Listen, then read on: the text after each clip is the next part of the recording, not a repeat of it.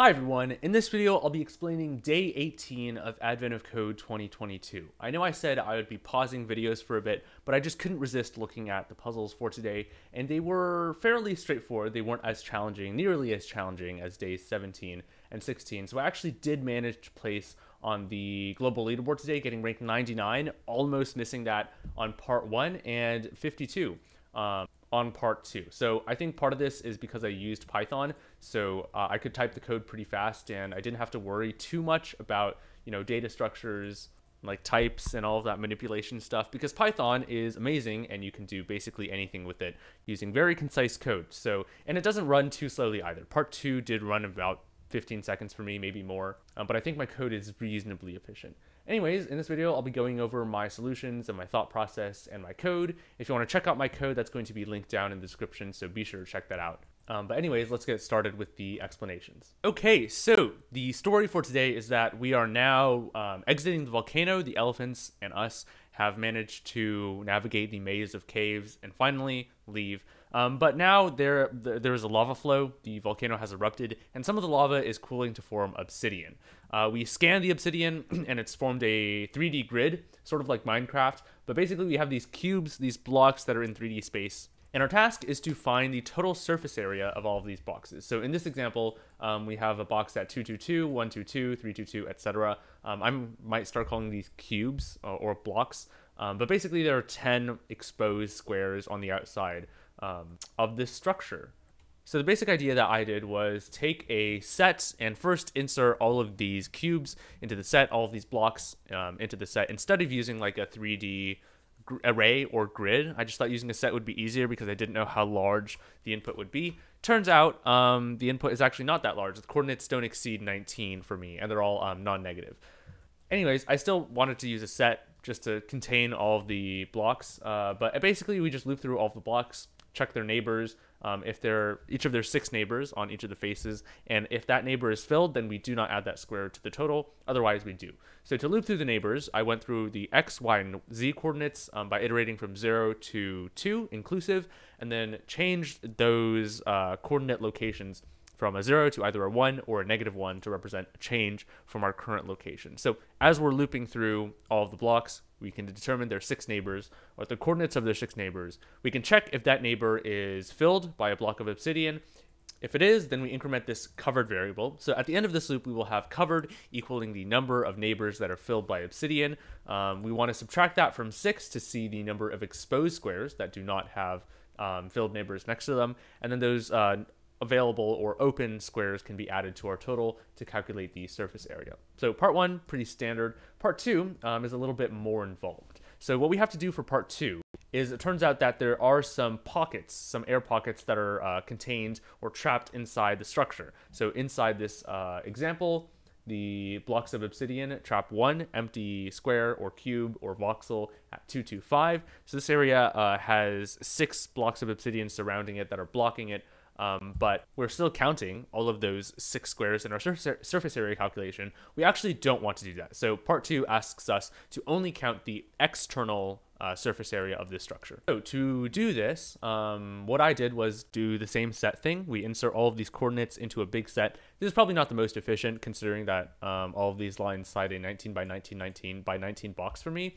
Um, but this was the fastest method that came to mind, so I just ran with it. The idea here is that we want to do basically the same thing. We want to count the number of exposed square for each cube, but we don't want to count the squares that are like not able to reach the outside. So essentially we're taking every cube and we're looking at its six neighbors and trying to get outside by doing a depth first search.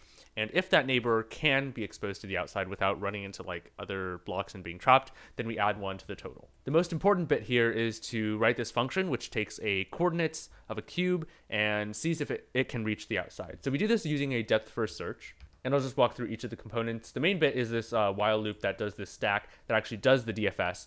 Um, but anyways, I'm going to refactor this a little bit. So we start with a stack. Usually um, when you do a DFS, you do a stack. You could also do this recursively, but I thought a stack would be easier. Uh, this is going to contain all of the cubes that we are yet to process. While the stack is non-empty, uh, we go through and we check if it has been, if the top element in the stack has been checked already. If, if it has, then we can ignore it. Otherwise, we add it uh, down here. Um, our stop condition is actually to check if it's outside the box. So my box is 19 by 19 by 19. You have to modify uh, this variable. Actually, let me just refactor for a second. Anyways, as we do the DFS, our stop condition is to check if any of the coordinates have reached the outside of our bounding box. And our bounding box can be computed by going through all the coordinates, like literally all of the numbers, and checking their minimum and maximum. In my case, minimum is 0, maximum is 19. If at any point in our DFS we have reached a point that is on the outside of our bounding box, then we're good to go and can return true to say that this position is exposed to the outside. Otherwise, we keep going. Um, I copy and pasted some of the code down here to check all six neighbors of the current cube and add each of those to the DFS stack. If you have, if any of those neighbors are filled, then eventually we will get rid of them um, using this line, but it doesn't matter too much for efficiency whether we stop early or not. Okay, so now we have a function that can take in any position in 3D space within our bounding box and return whether it is exposed to the outside. Um, we do have to cache this, so I'm using the Python LRU cache it is a very useful method, or I, I don't know what this thing is, like a directive, this ampersand symbol in Python that lets you just cache literally any function with hashable inputs. So I use that because we're going to have a lot of repeated um, computations here. Actually, what we could do is make this recursive. Okay, but you know what? I'm not going to bother with that. Refactoring code um, is too much for me right now. And it's just unnecessary. Um, we can just DFS with stacks without recursion because recursion is going to be kind of expensive with the overhead of you know functions calling each other.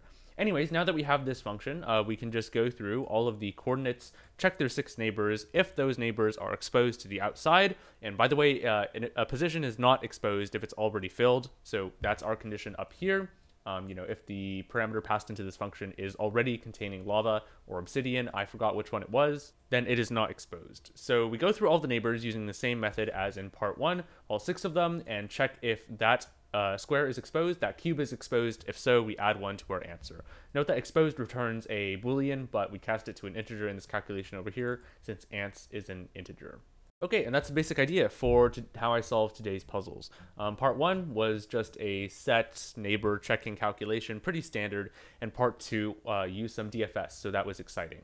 Overall, pretty satisfied with my performance today because um, I did make it to the global leaderboard. Day 16 and 17 I am still doing, so uh, expect to see a video sometime in the future. I won't say when, these puzzles are pretty challenging. I know you all look, are looking forward to explanations, so uh, stay tuned for explanatory videos on those days. Regardless, I hope today's video was helpful for explaining day 18. It was a relatively simpler puzzle, but I hope uh, seeing my thought process and my code did help a little bit. A reminder, if you do want to see my code, that's going to be linked below in the description in the GitHub repository, which contains my code to all previous puzzles.